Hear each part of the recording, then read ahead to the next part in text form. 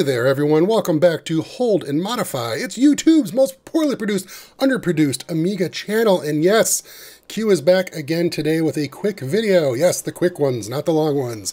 And this is to cover a, a neat website that's been found that's a, a big archive and collection of links, as far as I can tell, to more popular common websites, but all in one spot uh, and clearly laid out so that you can click through and see what's available. And uh, you can also search. Now I'm using IBrowse and I'm using uh, my emulated WinUAE environment. And this is because I don't actually have any real Amiga with network capability. Despite all these computers, I none of them connect to the web. So I like to use uh, WinUAE for this purpose because I wanted to show you using this website on a native retro environment. And that's because that's one of the claims that they make is being compatible with older browsers and computers so that you don't have to do it on a Windows or a Mac or a Linux machine. You can just jump onto your, your real Amiga or your Atari or your Apple and just hit this website and look look around. So that's what we're doing. I'm going to use the latest version of IBrowse. I don't own it, unfortunately, not yet, and that's a shame on me. I probably should get it. But again, none of my Amigas have networking, so I, I really would only be using it in this emulated environment. And just to confirm, if you're wondering about the emulated environment, it's an Amiga 4000 NTSC running a 50 megahertz 68060, and it has been tuned to match the speed of a real Amiga 50 megahertz at 60 to 60. So there's no cheating on the speed here. It will not be super, super hyper fast uh, emulation. It will be more real world 50 megahertz 68060 emulation. So we've gone ahead and fired up IBrowse and we've got the website up here. And I'm going to put this in the description, but the website is is just http, you know, colon forward slash forward slash discmaster.textfiles.com.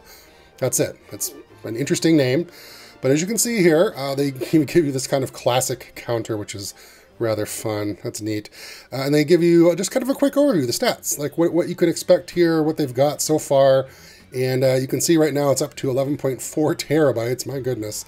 And now I don't know if they're keeping this stuff. I don't know if this is them telling you what they've they've archived as far as links go, like you know virtual data to the links that they're offering, or if they're actually hoarding this data themselves. This this is the part I'm a little confused about, because they they talk about we're we're getting you know getting files from like archive.org and other locations, and I just assume the links were, were going directly to those locations, but they might they might actually be mining these links and keeping this data locally, which is uh, obviously for longevity it might be better in case some of these other URLs go down one day.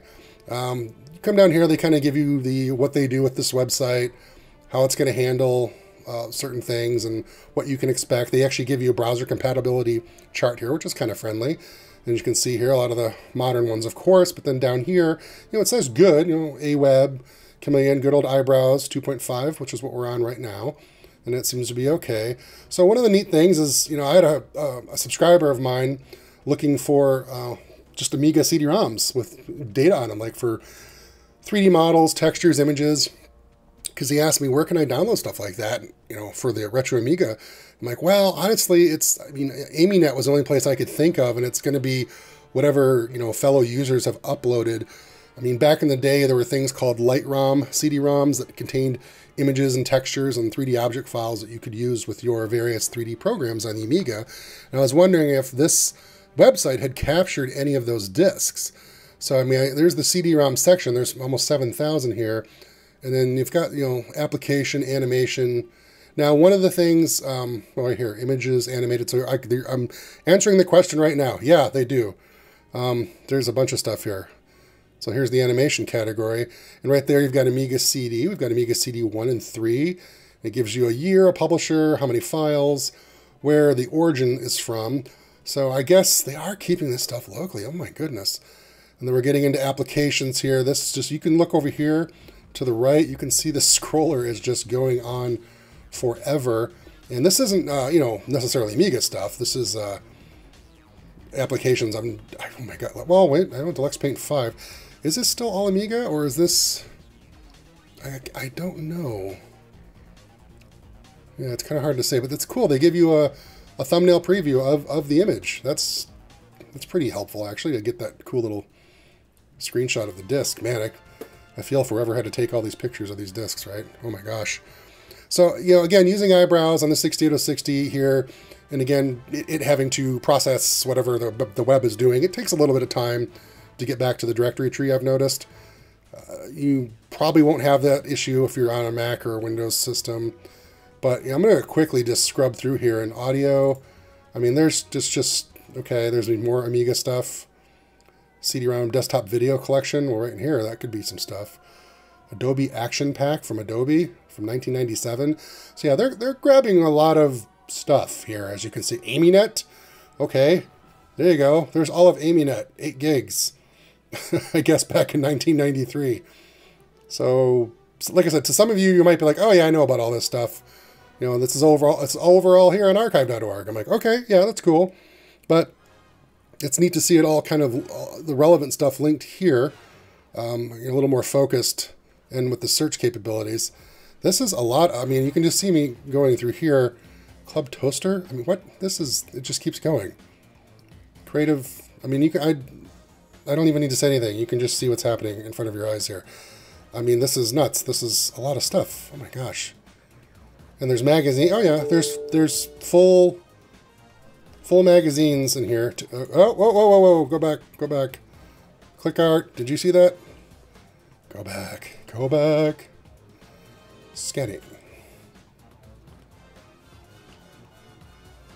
Scanning. Ha ha ha. I'm so busy uh, babbling about how many things there are, and look what I just found. LightROM. One, two, three, four, five, all, nine. Here you go. So that buddy who, who was a subscriber who was looking for the LightROM discs or 3D object discs to use with Lightwave or Imagine or Turbo Silver, whatever. Uh, here you go. They've got all the LightROM discs on here. Let's click one. Okay, so you can see the picture down there. Unfortunately, my time with IBrowse is over because I haven't bought it yet. But yeah, there's there it is. There's LightROM.